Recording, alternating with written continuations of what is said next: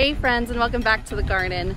Today I'm going to do a quick how-to video on how to trellis your tomatoes via the string method. But first I want to give you a quick overview of the string method, what we did last year that worked, and what we're doing a little differently this year. So let's go. So here's a snapshot of our garden last year where I also used the string trellising method. However, I used a wood beam here where this year I'm using a wire cable. And the reason that we're using wire cable this year is that I have a lot more tomato plants that I need to support, and it's just going to be more cost effective. But here I planted 13 tomatoes right down the middle, about a foot apart, and this is the reason I love the string trellising method. It is just super simple, allowing you to fit a lot of tomato plants in a small space and it just keeps it nice and tidy and you don't have to worry about your stems breaking because it's all held by a single stem on a single piece of twine and tomato clips. Then tied at the top right around your primary support, whether that's a wood beam or in our case this year, wire. Like I said earlier, we have a lot more tomato plants this year, so I've had to get creative about how we set up our tomato beds. Overall, our tomato beds are pretty narrow, about 2 feet by 10 feet, and we've got 13 tomato plants in each one. When I planted these tomato plants, I offset them by roughly 18 inches in a zigzag pattern to still allow for plenty of light and air per plant. The primary focus for those using the string trellising method needs to be pruning your tomato plants really well. If you don't, then your tomato plants start to get bushy, and what that does is that limits the amount of air circulation and sun that each tomato plant gets and invites disease. So this is what I mean when I say prune. I mean taking out these little suckers in the armpit of the plant here. Some people call it the crotch of the plant. And you want to get them when they're really young so they don't create a secondary stem. Here's a really small one.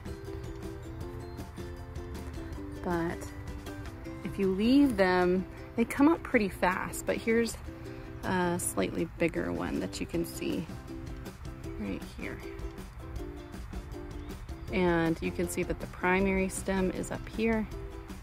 And so this guy is just extra and needs to go or you're gonna have a bushy plant. So here we are at our second tomato bed. We did already build our first one just as a quick run through to make sure that it was stable and it would do the trick.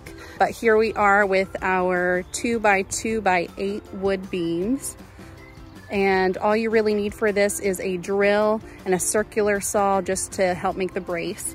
And here is the wire. It's essentially like a clothesline and it can hold up to about 100 pounds. And we're gonna be doubling this over to where it will definitely be able to support six to eight plants that will be on it.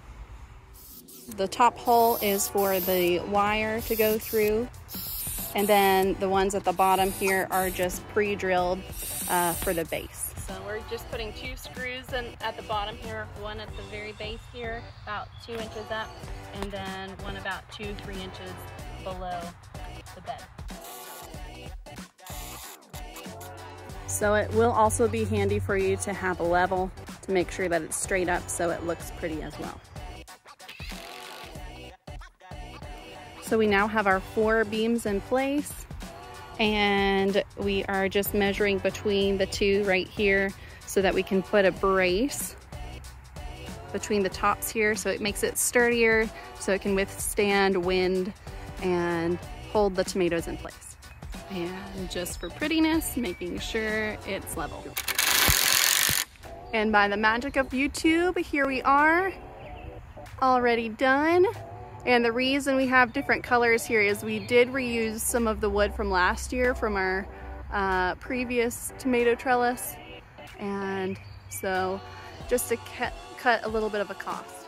Now we are going to work on our wire support we measured the wire roughly the size of the bed plus a little extra and doubled it over itself to where we have a folded end on one side, which we will call the halfway point, and the two cut wire ends on the other side, which will later be connected to the drill to twist the two wires into one cable. So what I'm doing now is I'm feeding the wire through the pre-made hole at the top here until we get to our halfway point and then we're gonna start twisting it.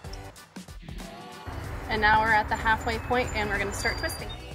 So you do need this little hook part that attaches into the drill and then you take your two wires that you already cut the sides on and you fold them over to where it's secure before you start twisting.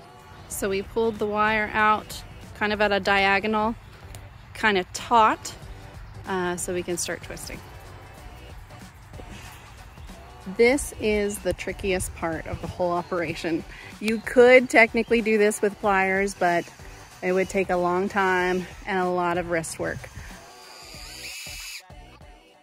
Here is our end product, twisted nice and tight and theoretically will hold twice the weight of a single wire. So here we took the pliers and we just cut off the ends that were around the hook so that we can put it through the hole that we made earlier on the other side of the beam. So I just pulled the wire through here and making sure it's tight but not too tight to where it pulls on the other uh, wood pole here.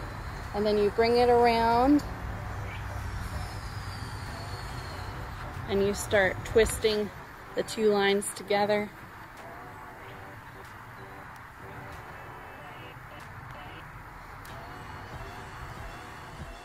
I went ahead and did the first trellis and already put it up just to show you guys how to do step by step but it's really just a lot easier to go ahead and take your twine and go ahead and tie it on while it's down like this so you don't have to get on a ladder for each one. Here I'm taking our pre-cut twine and knotting the top part just over our twisted wire support in every 18 inch increments to hang just above each tomato plant. All right, so I measured this twine seven feet because our wood poles are eight feet long and I want them to be just a little shy of all the way in the bed um, because this is what will essentially take on the whole weight of the plant. Um, and for the string trellising method, you need these little clips.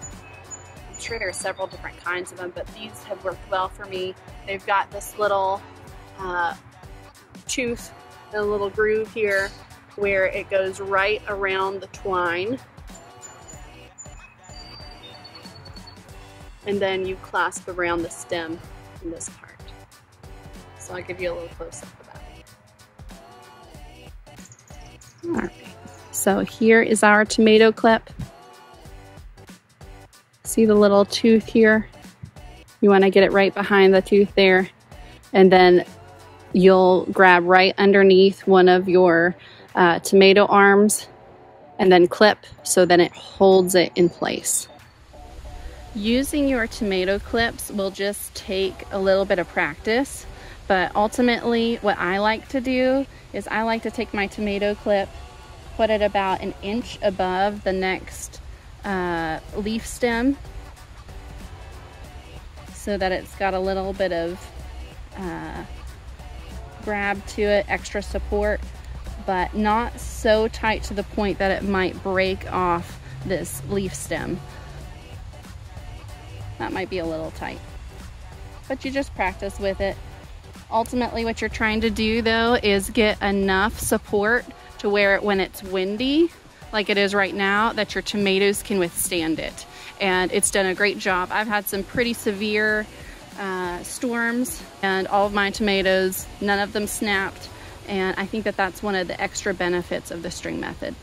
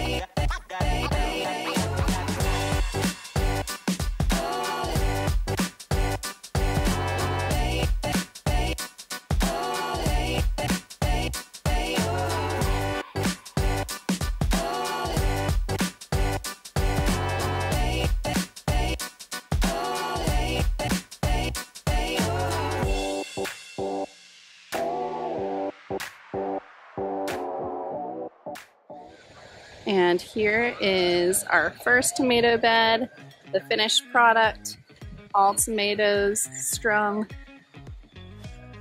and pruned. I'll take you on over to the second bed. Over here. And it's looking good.